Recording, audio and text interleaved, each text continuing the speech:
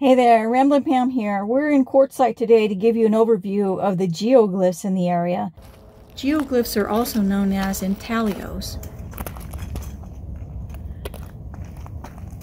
So that's the gate to go in. So you just have to pull apart that and then walk in. And then there's a trail that leads you around.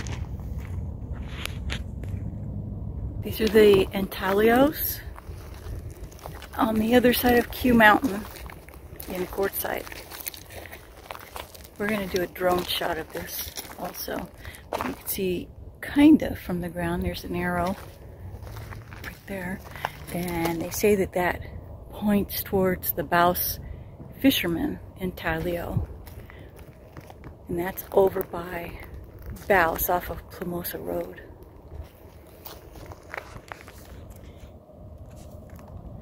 Can't see very good shot right now, but with the drone we should get a better one.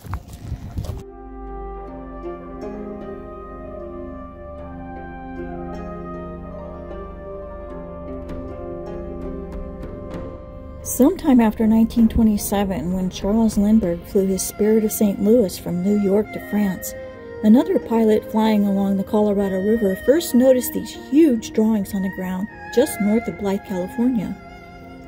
One of the drawings measured 176 feet in length. Since that time, at least 200 more images have been discovered along the river from Nevada to the Gulf of California.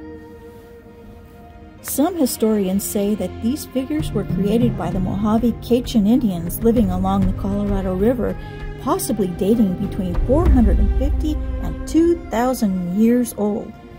However, some of the intaglios near Blythe, California possibly resemble a horse. If this is correct, that would mean they were created more recently because horses weren't brought here until Europeans arrived after Columbus discovered America. The geoglyphs were made by carving away the darker top layer of rock in the desert scape, leaving a lighter sand color. We always refer to the dark top layer of rock as desert bark. Over time, these giant designs of human and animal figures have made it through the harsh desert weather. It's really a shame that more recently some intaglios have been damaged from motorcycles, SUVs, and quads. You really can't see them unless you're taking drone shots. These intaglios have now been fenced off to protect them.